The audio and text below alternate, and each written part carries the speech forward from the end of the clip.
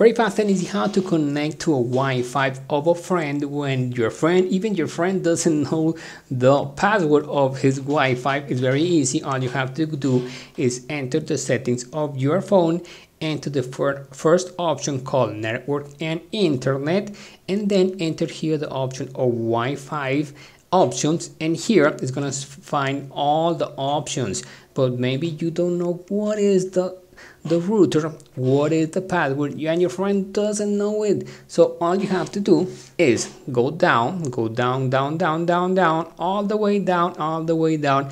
And here well, as you can see at network there is a little square. Press this square. If the phone is gonna let me press this square. And here you it's gonna activate the camera. And it's gonna try to scan a QR code.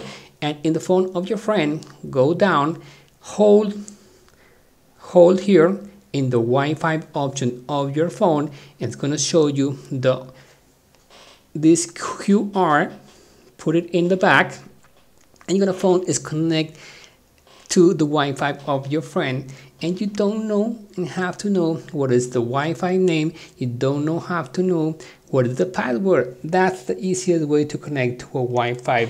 If you're in a friend's house and all you have to do. Remember to like share give me some books. I will like that and if the video was good for you give me more books. Thank you thank you thank you lot